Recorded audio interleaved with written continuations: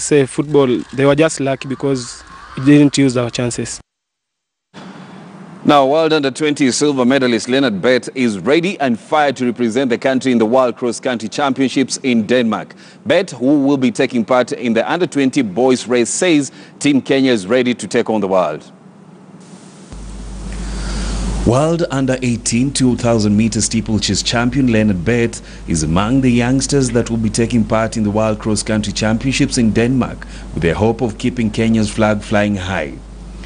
Bett, who finished third in the boys' 8 kilometer at the National Cross Country Championships in Eldoret, believes the junior team that was selected will make Kenya proud.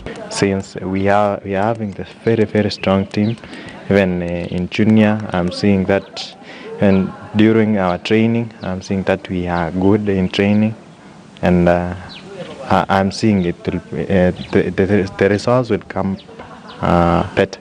Pastor, as he is commonly referred to as because of his love for the Bible, fields training with the defending champion Geoffrey Kamoror has given the youngsters in the team motivation heading into the championships.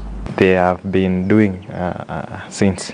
So we have the motivation that we are able to do it, and uh, we are going to make sure to we, we are going to fight for it.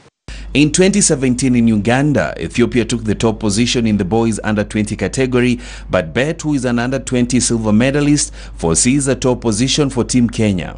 Uh, since we know Ethiopians and Ugandans, they are coming up.